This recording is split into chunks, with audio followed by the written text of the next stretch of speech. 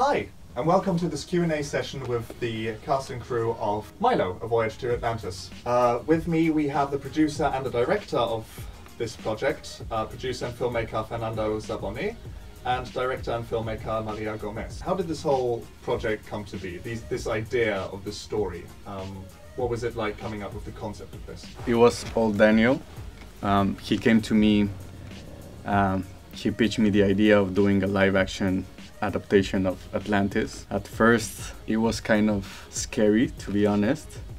Um, it was such a an ambitious project. It was probably the biggest thing I've ever done. When I first read the first draft that Daniel pitched to both of us, um, I was already hooked into the story. Like I already knew um, that I wanted to see a live action film of Atlantis because it's such like a beloved film we wanted to do like something a bit different and that it felt a bit more human, a bit darker than the original film. What was your favorite part about making this movie? Probably pre-production. I had talks with a lot of creative people, great people that uh, added a lot to the, to the story, to the to the production.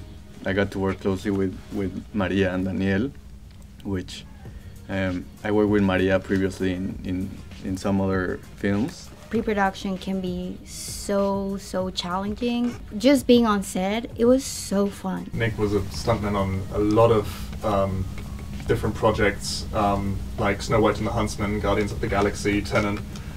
If we could get to a point where you where this becomes an action trilogy you know it's it's very exciting to think about for me it would be the biggest honor if i could keep working on this keep directing and keep working with the same cast because i had such an amazing time working with these actors. Like they're all all of them are amazing. Daniel's Milo, like you can just like see it in his face. Like he's Milo basically.